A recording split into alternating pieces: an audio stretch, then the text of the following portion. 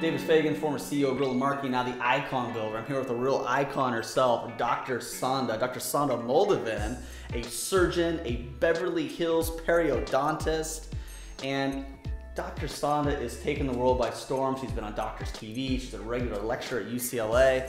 And you are really passionate. Well, you tell them. Why don't you tell them? What are you really passionate about?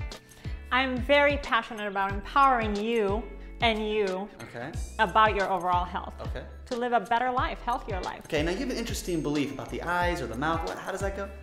And I really believe that if the eyes are windows into one's soul, then the mouth is definitely a doorway into one's overall health. Wow, interesting. So what you're telling me as an expert, as a as a surgeon uh, that works in the mouth, you are linking things that are going on inside someone's mouth to someone's overall health. Is that right? I do. When I look at somebody's mouth and teeth and, and Okay. cheeks, I can see what's going on with them. If they're healthy or they have an imbalance, a nutritional deficiency, or whether they need to see their physician because they may have a problem, a disease. Interesting. So look, you're a peri- you're a Beverly Hills periodontist. You're a surgeon, but your passion is really about overall health, isn't it? I- so, yes. so talk about some of the other training that you've had then, I guess.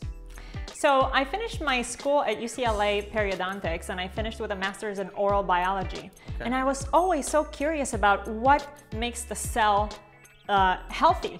Okay.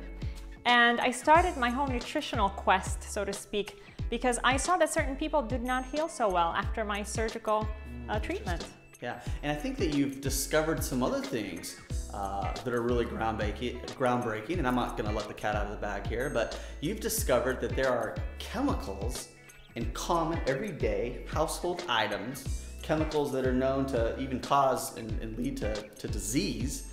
And uh, how can they get more information on this? That's right, David. There's unbelievable chemicals out there that absolutely you should avoid because they can cause disease.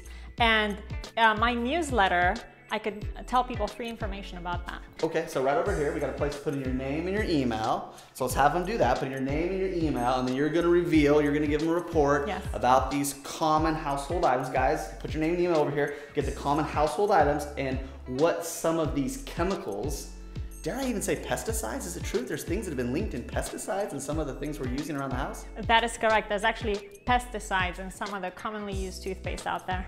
Okay, so you're going to find out what some of those things are right over here. Just put in your name and email, and that'll be emailed back to you automatically. Thank you for coming in. Thank you. Appreciate it.